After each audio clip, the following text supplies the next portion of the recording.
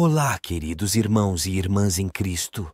Hoje convido vocês a se unirem a mim em um momento de comunhão e fortalecimento espiritual ao iniciarmos nosso dia com uma oração baseada nos ensinamentos da Palavra de Deus.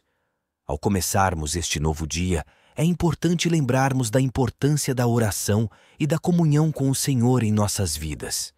É através da oração que fortalecemos nossa fé, buscamos orientação divina e nos conectamos com o amor e a misericórdia de Deus. Senhor, neste momento de oração, abrimos nossos corações e mentes para recebermos a tua graça e a tua bênção sobre nossas vidas. Que a tua luz divina nos guie em cada passo que dermos hoje e que a tua paz, que excede todo entendimento, guarde nossos corações e mentes em Cristo Jesus. Pedimos, Senhor, que nos conceda sabedoria para enfrentarmos os desafios que surgirem em nosso caminho e que nos capacite a sermos instrumentos do teu amor e da tua paz neste mundo tão necessitado. Que esta oração da manhã seja um momento de renovação espiritual para cada um de nós e que possamos compartilhar essa bênção com aqueles que estão ao nosso redor.